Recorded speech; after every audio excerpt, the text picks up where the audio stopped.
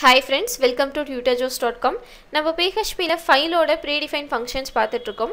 Next பார்க்க போகிறது copy function இந்த ஃபங்க்ஷன் நம்ம எதுக்காக யூஸ் பண்ணுறோன்னா நம்ம கொடுக்குற ஒரு பர்டிகுலர் ஃபைலோட காப்பி எடுக்கிறதுக்காக இந்த ஃபங்க்ஷன் நம்ம யூஸ் பண்ணுறோம் நான் கொடுத்த ஒரு பர்டிகுலர் ஃபைல் அது காப்பி ஆயிருக்கு. ஸோ காப்பிட் சக்ஸஸ்ஃபுல்லி அப்படின்னு நமக்கு ஒரு மெசேஜ் டிஸ்பிளே ஆயிருக்கு.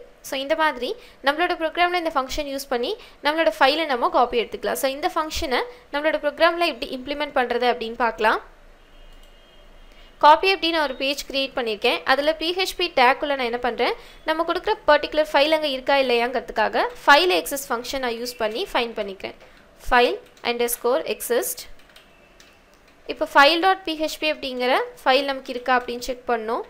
ஸோ ஃபைல் டாட் பிஹெச்பி இப்போ அந்த ஃபைல் எனக்கு இருந்தது அப்படின்னா எனக்கு உள்ள ஒரு இஃப் கண்டிஷன் இங்கே ஒர்க் ஆகணும். ஸோ இஃப் இந்த இடத்துல நம்ம காப்பி ஃபங்க்ஷன் கால் பண்ணிக்கலாம். காப்பி ஃபங்க்ஷனில் நமக்கு ரெண்டு ஆர்குமெண்ட் இருக்குது ஒன்று source file and destination file இப்போ நம்ம சோர்ஸ் ஃபைலாக என்ன பண்ணிக்கிறோம்? ஃபைல் டாட் பிஹெச்பி கால் பண்ணிக்கிறோம். கமா டெஸ்டினேஷன் ஃபைலோட நேம் நம்ம இங்கே கொடுத்துக்கலாம்.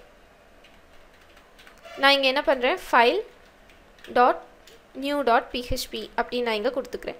அண்ட் இப்போது ஒருவேளை நம்ம டெஸ்டினேஷன் ஃபைல் நேம் கொடுக்குறோம் இல்லையா? அந்த நேமில் ஆல்ரெடி ஏதாவது ஃபைல் இருந்ததுன்னா நமக்கு ஓவர் ரைட் ஆகிடும் அதில் இருக்க கண்டென்ட் எல்லாமே எரேஸ் ஆகிடும் இந்த ஃபைலில் இருக்க கண்டென்ட் நமக்கு அதில் ஸ்டோர் ஆகிடும் ஸோ என்ன பண்ணுறதுன்னா அதில் இல்லாத நேமாக நம்ம பார்த்து கொடுத்துக்கலாம். இப்போ காப்பி கொடுத்தாச்சு.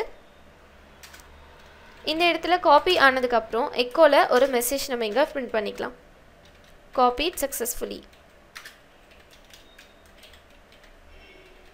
copied successfully. And semicolon. Next இங்கே ஃபைல் நமக்கு இல்லைன்னா else partல எக்கோவில் ஒரு மெசேஜ் எரர் மெசேஜ் ஒன்று பிரிண்ட் பண்ணிக்கலாம். File does not exist semicolon. Save பண்ணிக்கலாம். இப்போ இங்கே பார்த்தீங்கன்னா நமக்கு ஃபைல் டாட் பிஹெச்பி அப்படிங்கிற ஒரு ஃபைல் நமக்கு இருக்குது இப்போ நான் ப்ரௌசரில் போயிட்டு நம்மளோட இந்த காப்பி டாட் பிஹெச்பிங்கிற பேஜை நான் லோட் பண்ணுறேன் காப்பிட் சக்ஸஸ்ஃபுல்லி அப்படி நமக்கு வந்துருச்சு. இப்போ நம்மளோட ஃபோல்டரில் பார்க்கலாம்.